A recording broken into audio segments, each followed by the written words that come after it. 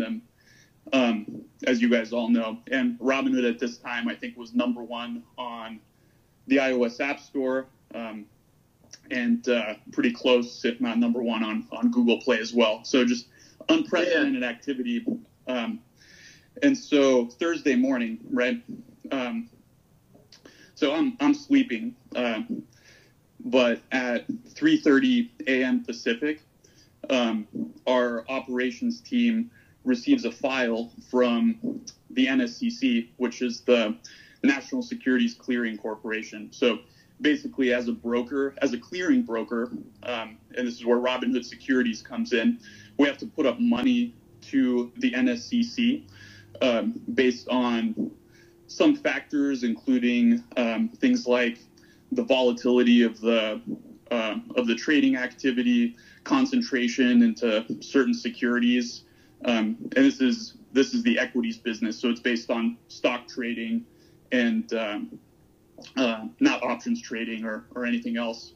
Um, so they gave us a file with a deposit, and the the request was around three billion dollars um, which is, you know, about an order of magnitude more than what it typically is, right? So, um, no, no, why, why and, was that so high? Like, this seems like, like, it, it sounds like this is an unprecedented increase in uh, demand for capital. Um, what formula did they use to calculate that? Well, um, yeah, and just to give context, you know, Robinhood up until that point has raised, uh, you know, a little bit around two billion dollars in total uh, venture capital up until now. So it's a big number. Like three billion dollars is um, is a large number, right?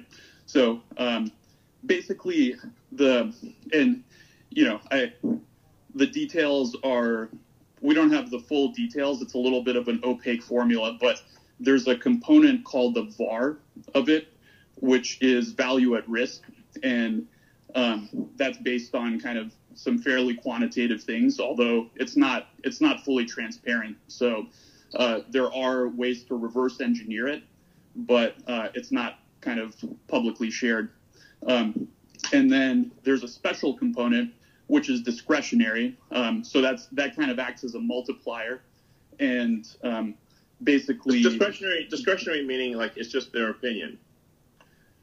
Yeah, there. Uh, it's it's a little bit. I mean, I'm sure there's there's definitely more more than just their opinion, but um, basically, well, I mean, I, I guess like it's based on growth. What everyone wants to know, what everyone wants to know is like, did something maybe shady go down here? Like, like it, it's like seems weird that you'd get a sudden ten billion dollar demand. You know, three, three billion, three, three billion. in the morning. Sorry, how much? Yeah, it was three billion U.S. dollars. Three billion. Okay, so it three billion yeah, around out of nowhere. Um, and what percentage? I wouldn't. I wouldn't impute. I wouldn't impute shadiness to it or anything like okay. that. And actually, you know, the NSCC was reasonable subsequent to this, and you know, they've been they've been uh, they worked with us to um, to actually lower it. So um, it was unprecedented activity. You know, we don't. I don't have the full context about um, you know what was what was going on in what's going on in the in the NSCC to make these calculations. But um, yeah, essentially, is it anyone, large is holding you hostage right now? Uh, no, no, I'm okay. yeah. Um, thanks for asking. But anyway, so this was uh, this was obviously nerve wracking, and I actually was asleep at this point. You know, the operations team was uh, was fielding this at at three o'clock and then um, you know we got back, we put our heads together. Um, you know, our chief operating officer basically said, "Look, let's call up the higher ups at the NSCC and kind of figure out what's going on. Maybe there's some way we can work with them." And um, basically, there was another call, and they lowered it to something like 1.4 billion dollars uh, from three. Okay. So, okay, we were making some progress, right? and then, but it's still a high number. And then um, we basically proposed, well, let's let's explain how we plan to, um, let's explain how you know we'll manage risk in these symbols throughout the day. Uh, we proposed um, marking these volatile stocks that were kind of driving driving the activity, position closing only, and then um, at about uh, an hour before market clo- market open, so 5:30 or 5 in the morning, they came back and they said, okay, uh, the charge is or the deposit 700 million, which we then deposited and paid promptly, and then um, everything was fine. Um, so that that essentially explains why we had to um, we had to mark these symbols position closing only, and also why you know we didn't want to. We knew this was a bad outcome for customers. Um, you know, part of what's been really difficult is um, Robinhood stands for you know democratizing access to stocks and yeah. we want we want to give people the access so that's been very very challenging um, but we had no choice in this case we had to conform to our regulatory capital requirements and so the team did uh, did what they could to make sure we were available for customers who, who controls this, this this organization this clearinghouse um, you know, it's a it's a consortium. It's not it's not quite a government agency. Um, you know, I I don't really know the details of of uh, of all of that. Okay. But you know, and to be fair, like we were we were uh, I, I think there was legitimate sort of turmoil in the markets. Like these are unprecedented events with these meme stocks and you know, there was a lot of activity. So there probably is um, so, some amount of extra risk in the system that warrants higher higher requirements. So it's not entirely unreasonable. Um, but we did operational processes to make sure that customers that had positions could sell their open positions because obviously restricting someone we got a lot of questions about okay you had to restrict buying why didn't you also restrict selling and the fact uh-huh. of the uh-huh. matter is, yeah. people get really pissed off if they're holding stock and they want to sell it and they can't, right? So I think that's that's categorically worse. So, um, and lots of other brokers, I think, were in the same situation. Robinhood was in the news, but you you sort of heard this industry wide, right? Other brokers uh, basically restricted the same exact activity. All right, so, so it sounds like this this, this organization you know, calls you up and they basically have a gun to your head, either either hand over this money or or else.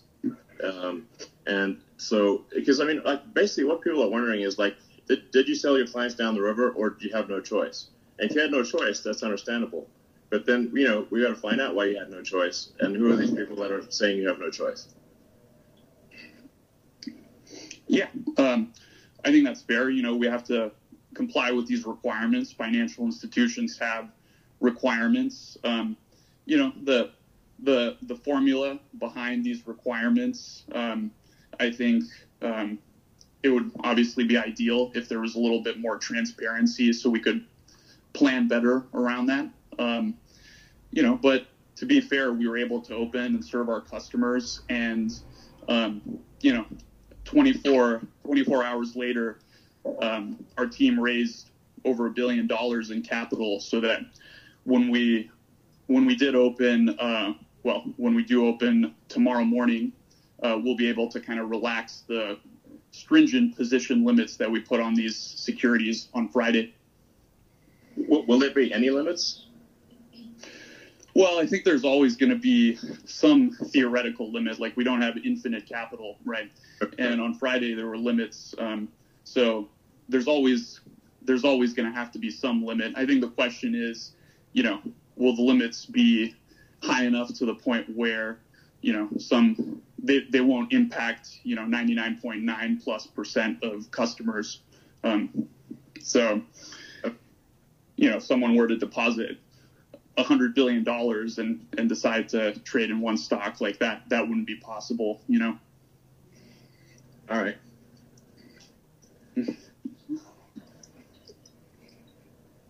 All right. Well, I guess people really just want to know, you know, if you had no choice, then then you had no choice. Uh, it's gun to head situation, um, and you know, then that's understandable. Uh, but then whoever put that gun to your head should you know be willing to answer to the public. Yeah, listen, and um, you know, I know there's there's processes. This is unprecedented times, and to be fair to those guys, they've been they've been reasonable.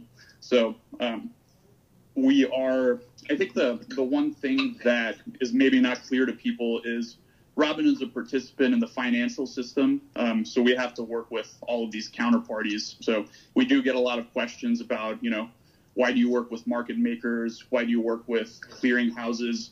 Uh, vertically integrating and getting um, I mean, it's hard enough to, to build a introducing and a clearing broker dealer. Not too many people have done that. But the financial system that uh, allows customers to trade shares um, is sort of a complex web of multiple parties. And, um, you know, it's, it's hard to, I think everyone says, oh, it could be better, it could be improved. Um, it's, it's just the necessity of, of trading equities in the U.S that you have to do all these things. I mean, to what degree are you beholden to Citadel? I mean, like, basically, if Citadel's unhappy, then are, are, what, then what happened? Yeah, so that you know, there was a rumor that um, Citadel uh, or other market makers kind of pressured us into doing this, and that that's just false, right?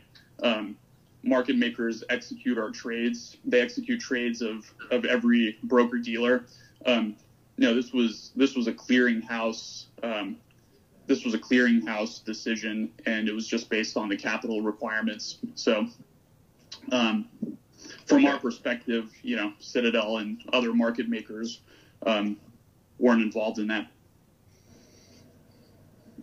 But wouldn't they have a strong say in, in who got put in charge of that organization since it's an industry consortium, not a government consortium, or not a government regulatory agency? Um, I, I don't have any reason to believe that. I think that's just like, you know, then you're getting into kind of the conspiracy theories a little bit. So I just have no no reason to believe that that's the case. You know. Okay. All right. Um, well, I um, guess uh, so we'll see what happens with future actions. Um, hopefully that was. Uh, insightful or you know, at least a little bit entertaining. Are you not entertained? um, yeah. Um, okay. Well, uh, I, I, don't know what to say. First of all, Vlad, uh, thank you so much for jumping on. I know it's pretty late, and uh, thank you so much. You know, deep. You know, I deeply appreciate it, and I'm sure everyone in the audience here and watching elsewhere deeply appreciate it. So thank you so much. We really appreciate this. Um, I'm going to wrap this up. Uh, Elon, uh, what can I say? You know, uh, thank you so much. I, I, I hope you had a, a, fun time for your first time on Clubhouse. Did you have fun? Yeah, it's great. This is awesome. I didn't even know it existed a week ago, so, so it seems cool. Awesome. So, would you come back? Uh, yeah. Uh, all right. Okay. Well.